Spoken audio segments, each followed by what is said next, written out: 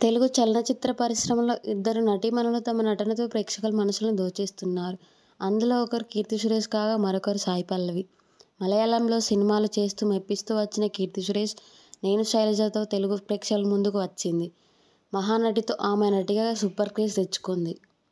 ఇక మరోపక్క సాయి పల్లవి మలయాళం 'ప్రేమ'తో సూపర్ హిట్ అందుకోగా తెలుగులో 'ఫిదా' సినిమాతో ఎంట్రీ ఇచ్చింది. 'ఫిదా' నుంచి సాయి పల్లవి నటన ప్రాధాన్యత ఉన్న సినిమాలు చేస్తూ ప్రేక్షకులను అలరిస్తుంది. కీర్తి సురేష్ సాయి పల్లవి ఇద్దరూ మంచి నటీమణులే. ఇద్దరికీ వారి స్థామినకు తగ్గిన పాత్ర ఇస్తే ఆకట్టుకుంటారు. అయితే ఈ ఇద్దరిలో తేడా ఉంది.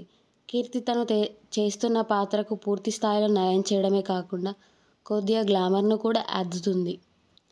ఇచ్చిన పాత్ర ఎలాంటిదైనా కీర్తి కుమ్మేస్తుంది.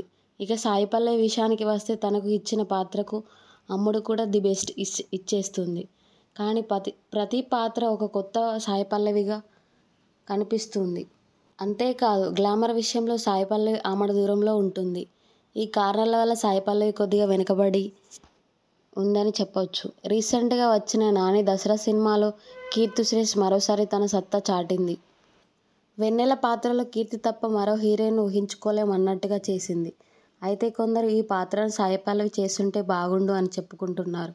వెన్నెల పాత్రలో కీర్తి సురేష్ కాకుండా సాయి పల్లవి చేసి ఉంటే తన స్టైల్లో సాయి పల్లవి ఆకట్టుకునే ఛాన్స్ ఉండేది.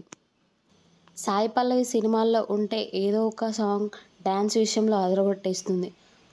ఆ సాంగ్ సెన్సేషన్గా మారుతుంది. ఇలా మొత్తానికి సాయి పల్లవి, కీర్తి సురేష్ ఇద్దరూ తమ ప్రతిభను చాటుతూ తెలుగులో సూపర్ ఫాలోయింగ్ ఏర్పరచుకున్నారు.